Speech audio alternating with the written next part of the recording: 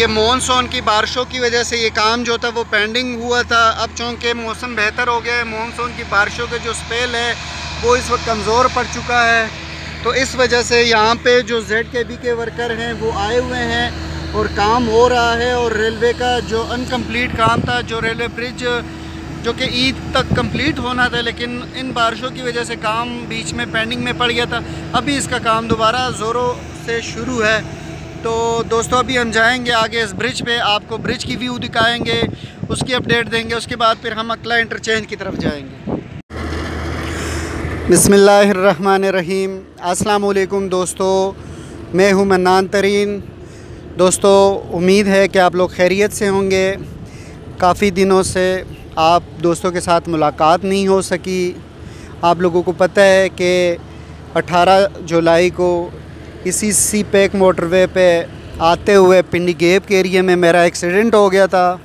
मैं और रिजवान, हमारी बाइक स्लिप हो गई थी, जिसकी वजह से हम गिर गए थे, हमें काफ़ी ज़्यादा चोटें आई और मेरा पाँव काफ़ी ज़्यादा जल गया था स्लेंसर की वजह से। तो ईद के जो दिन थे, वो मैंने घर और बिस्तर पे गुजारे।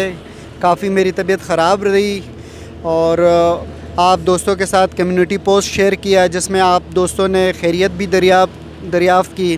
तो उसका मैं आप दोस्तों का बेहद मशहूर हूँ, बेहद ममनून हूँ कि आप दोस्तों ने बड़ी हौसला अफजाई की। और आज अल्लाह का शुक्र है, मैं इस काबिल हूँ कि मैं ठीक हो चुका हूँ, बेहतर हूँ। और आज फिर मैं अपडेट के लिए हाज़िर हूँ। इस वक्त ये हकला ओवर ब्रिज है, एक रेलवे क्रॉसिंग है यहाँ पे, जहाँ पे हम खड़े हैं दोस्तों।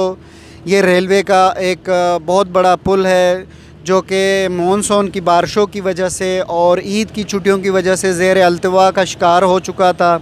अब इस ब्रिज पे काम जो है वो हो रहा है और इस ब्रिज के जो साइड एरिया हैं दोस्तों, जो शोल्डर है, उस पर इस वक्त जेड के बी कंपनी के जो बड़े बड़े एक्सकेवेटर है और डैम्पर वगैरह है या ग्लेडेटर है, वो इस वक्त लगे हुए हैं और तनदही से ये काम कर रहे हैं, क्योंकि आज मौसम भी साफ़ है।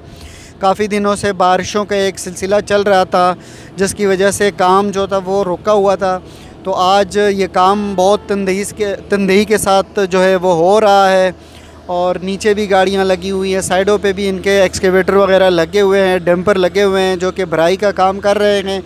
और अभी जेड के बी के ऑफिशियल से हमारी बात हुई है तो उन्होंने हमें ये कहा कि आइंदा आइंदा आने वाले दस दिनों में इन ये रेलवे ब्रिज जो है, ये यहाँ शिफ्ट हो जाएगा। और उसके बाद जो सामने का एरिया है, जिसकी अभी कटाई जो है वो होनी है तो वो कटिंग शुरू हो जाएगी और बीच का ये जो एरिया है साफ़ हो जाएगा। जो मेन सी पेक रूट है, जिसमें ये एक बहुत बड़ी डाइवर्शन है और ये सी पैक इंटरचेंज से सात किलोमीटर के फासले पर है। तो ये डाइवर्शन जो है, ये क्लियर हो जाएगी इन और आइंदा आने वाले दिनों में ये रोड जो है, ये इस काबिल हो जाएगा कि ये ओपन कर दिया जाएगा पब्लिक के लिए। तो मौसम भी अच्छा है इस वक्त, आसमान पर बादल छाए हुए हैं। बहुत खूबसूरत सुहाना मौसम है दोस्तों। तो ये एक अपडेट थी इस पुल की एनएटी ब्रिज और साथ पे ये रेलवे ब्रिज की अपडेट, उम्मीद है दोस्तों ये वीडियो ये अपडेट आप लोगों को पसंद आ गई होगी।